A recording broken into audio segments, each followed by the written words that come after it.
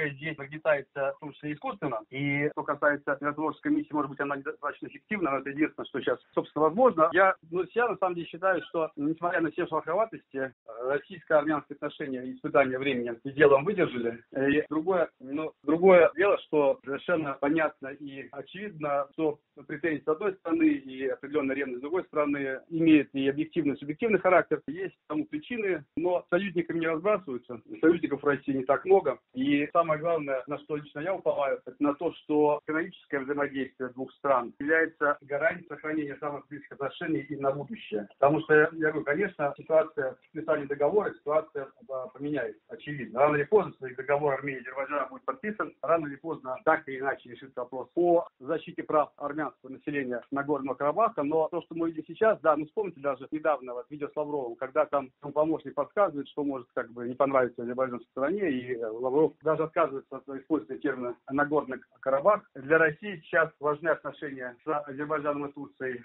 и пространство маневра, я бы сказал, не так велико. Хотя, если вы спросите мое личное мнение, я считаю, что, может быть, если бы Россия оказала более действенную помощь во время Второй Карабахской войны, может быть, даже и украинский вопрос решался бы как-то иначе, потому что можно было продемонстрировать все возможности, например, в отношении тех же самых Байрактаров, которые, как выяснилось, уже сейчас, ну, применительно к российско-украинскому конфликту, тем Байрактаров вообще ушла на задний план, оказалось, что их можно сбивать, нейтрализовать. Ну, мне кажется, Москва вообще фактически статьи ответствует за э, судьбу Нагорного Карабаха в среднесрочной долгосрочной исторической перспективе.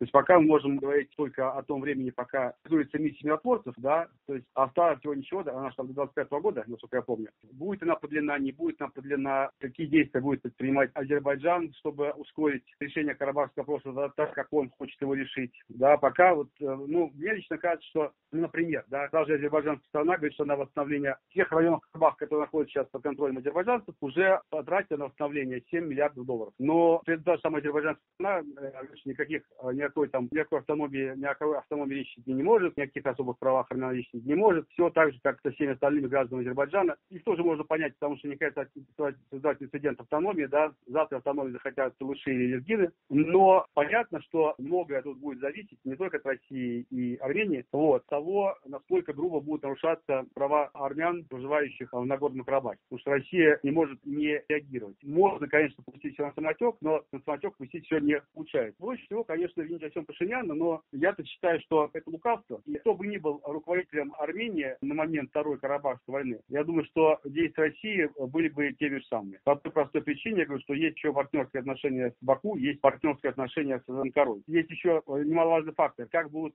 скажем, строиться в дальнейшем отношения России и Турции. Как будут строиться отношения России и Азербайджана. Знаете, то есть на самом деле у нас же как бы а, все а, имеет такой цикличный характер. Вот сейчас у нас опять сокращение товарооборота с Турцией. Сейчас опять понеслись какие-то претензии. И, соответственно, армянская сторона может пытаться использовать меняющуюся конъюнктуру. Но, откровенно говоря, я вот ничего утешительного по поводу судьбы Нагорного Карабаха сказать не могу, потому что совершенно очевидно, что как не затягивай процесс регулирования, но рано или поздно все-таки, сколько веревочка не, не вьется, конец рано или поздно будет. Самое интересное, это как будут строиться отношения в этом случае. То есть, э, когда, когда, в принципе, стороны э, все-таки о чем договорятся. Тем более, что Ереван сейчас говорит, что предлагается Накерт напрямую договориться с Баку по поводу гарантий для проживающих в Нагорном Карабахе армян. И ждать здесь чудо от России, наверное, не стоит.